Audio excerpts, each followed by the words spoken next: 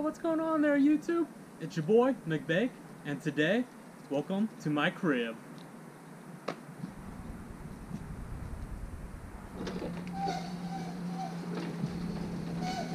There we go.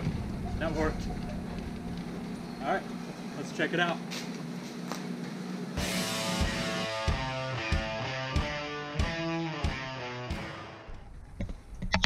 Alright, so this is the garage.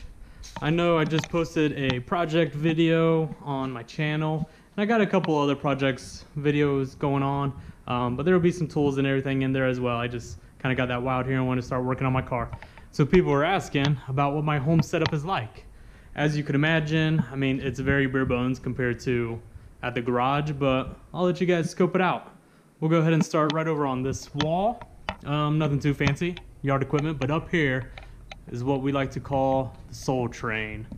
This is actually a Huffy tandem bike that my father and I restored when I was about 12 years old. It has a really cool story along with it. Um, it was busted, so we restored it when I was 12. Um, after I moved out, my parents actually sold it to some woman in town where I grew up. And then just earlier this year, actually, it went up for sale. She wanted to get rid of it. My parents knew. They got a hold of me and I got it back. So yeah, about, man, 18 years after me and my father restored it. I mean, you can't tell, but it has purple color changing paint.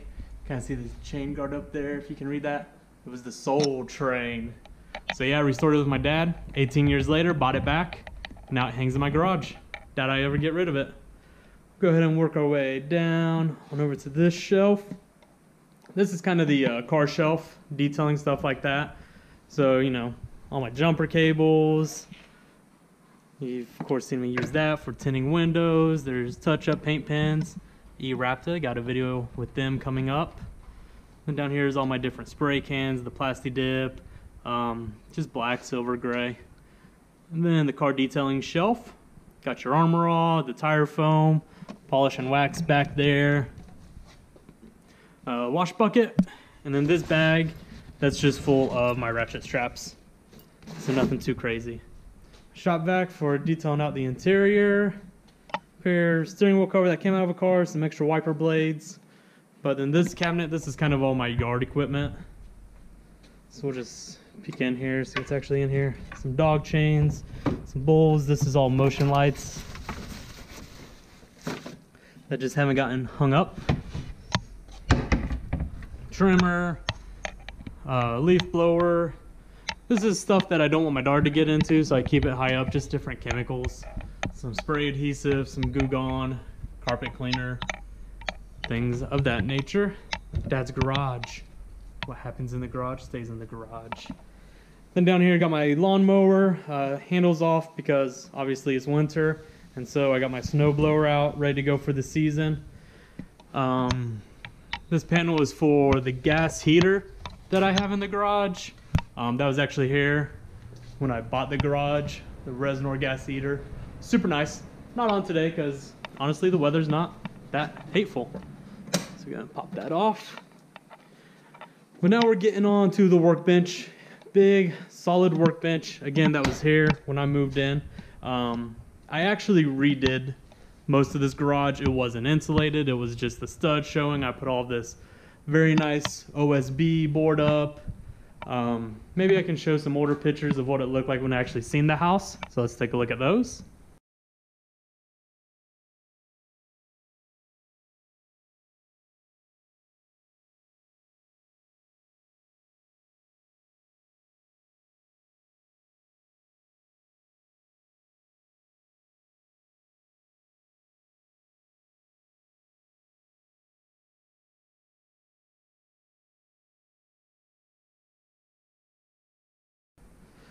But yeah, this is what it looks like now.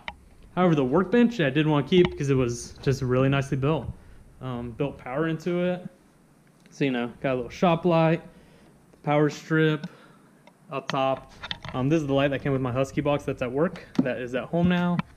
My snowblower battery, my leaf blower, DeWalt tools. That's what I have at the house. then leaf blower battery, my Noco jump pack, and then some batteries. Red cap means it's fully charged. We'll actually put you guys down here. And we'll show you my Noco pack. This is just the small one, the GB40. It is a nice little pack, I mean, for any cars that I need to jump.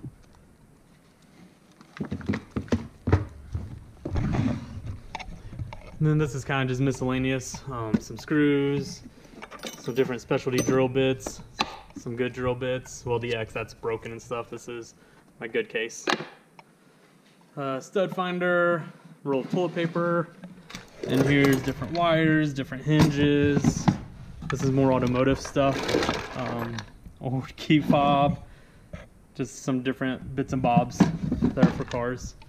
My dad mug, my pencils, the pencil sharpener, and down here is just, of course, all screws, nails, things of that nature.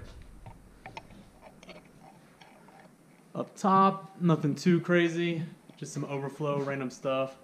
Some buckets, some old light fixtures I put in. That's my tarps cabinet. And then those are just toolboxes and tool bags that I don't use. Got my outdoor waterproof speakers, Bluetooth that I use out in the garage Of course, you got to have a, va- a vise and then mount a desk light right above it. That doesn't want to turn on. Oh, it's unplugged. So, you know, when working on things in the vise, you can have it lit up. Got my jigsaw out right now for a project that's coming up soon that you guys are going to be super into. It's not a project on my car, it's a project on my toolbox. Stay tuned. I'm super stoked. This locking cabinet, this is where I keep any chemicals. When I'm going to do an oil change, I'll keep the oil in here. Basically a locking cabinet for, for sorry, locking cabinet for chemicals, just to keep my daughter out of it. Those are my clean shop rags. Got my dirty shop rag bin. Painting supplies. Some different leaf bags. If I'm going anywhere, I keep this one really nice tool bag down here. Um, actually, it should go to work since none of my tools are here. Some more overflow, just different things. This drawer, got some toolbox liner left over, tape measures, mask, gloves, stuff like that. And let's see, tapes, some more TVs, some zip ties, basically things that stick things together, hot glue, and Another DeWalt charger that's hiding in there. Next one down is ear tools, air chuck, air gun, some extra air line. then I don't know what's in this. Oh, materials. So yeah, car materials, some more toolbox liner. There's some black vinyl in there. There's some CDs, just materials. And there's my air compressor. When I bought the house, they had an estate auction and this air compressor was in the garage from the original owner and I think I got that at the auction for about $95. 24, 25 gallon Craftsman air compressor. Super nice. So let's see, some speaker grills for my past cars that I took out. I always like the look of speaker grills on subwoofers, and then I would shave the emblem and put them on the speaker grill. So that was from an 09 Cadillac CTS I owned, and my 2010 Jeep Commander that I owned. And then this cabinet, let's see, nothing in there. But in here is it's all my power tools. It's my DeWalt Sawzall, circular saw, light, impact, and drill. I got a, another circular saw, heat gun. That's actually brand new seats for the tandem bike I haven't put on. Paint sprayer, pneumatic nail gun, and then the box to my jigsaw. Oh, let me grab this. Because as you may see, the one fluorescent light in the most important corner is out. I was going to get replaced, but I'm actually just going to wait until I can redo it all in LED. All right, so I'm back. I actually wheeled my little baby toolbox out here for some better lighting so we can take a look at what's inside. Like I said, nothing too crazy. You guys know my tools are all at work and I am just starting, so I haven't collected anything. I'm sure you guys have doubles and triples stuff at home. Um, but yeah, check it out what I use. I got a Blue Hawk 3 8 or I'm sorry, half inch. Then a generic, I have no idea where it came from, 3 eighths. Here at home, I do have the Pittsburgh half inch torque wrench because you know I do rotate tires and take tires off here at home. So I mean you have to have something. And then I think again these are all Husky sockets.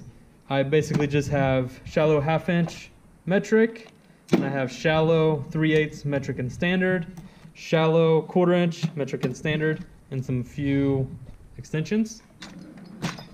Next drawer down, wrenches, some vice grips, and Allen wrenches. Then the screwdriver drawer, this is really just kind of a catch-all of any kind of screwdrivers that have been laying around. Some of my finer, small screwdrivers. And then, you know, your main ones. These are all Pittsburgh. Used to be at work, but I have upgraded to some Matco screwdrivers. Look out for those on my next toolbox update at work. Next one down, razor blade knives, electrical, a couple of my old test lights, wire strippers, um, some flat snips that are beat to crap. Some flush cuts, sorry. They're just beat to all but jeepers. And then strippers that were at work, but I've replaced those with much better items. Again, you'll see those. And that's just filled with fuses, stuff like that. Here's my catch-all so far. Nothing too crazy. Some hacksaws, lighter, magnet, little drill, staple gun, crowbar.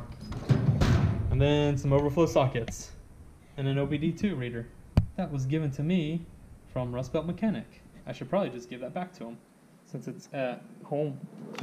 But no, I brought it here to scan my Lancer and then it never found its way back.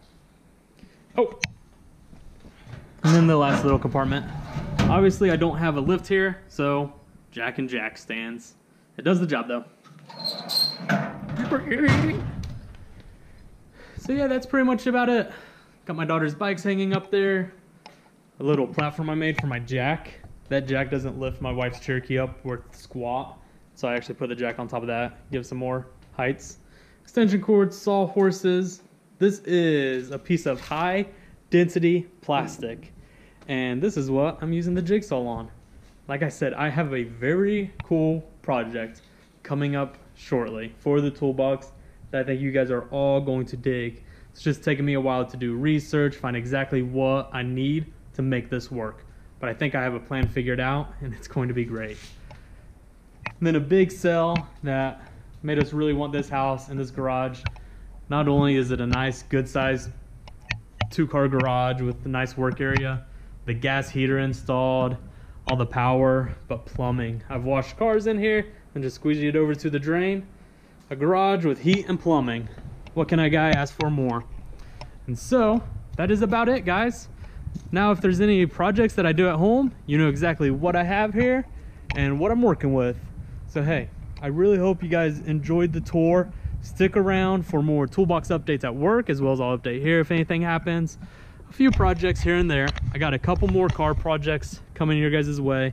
I know you don't like them that much. You'd rather see tools, but seriously, stick around because what I have planned for that Husky 80 inch toolbox is going to blow you guys away. And I'm so excited to get it out there. So until next time, like, subscribe, comment, let me know what you think of the garage. Um, maybe you're looking to do some organization or updating to your garage, something like that. I know before I put the O, um, OSB on the walls, I was looking up all different kind of wall coverings, whether I should go drywall or um, like wood paneling. And so maybe you're just checking out what OSB looks like on garages. There it is. So hey guys, thanks again for watching. Stick around, hit that bell notification so you know when videos come out, and I will see you next time. I'm McBake, and I'm out.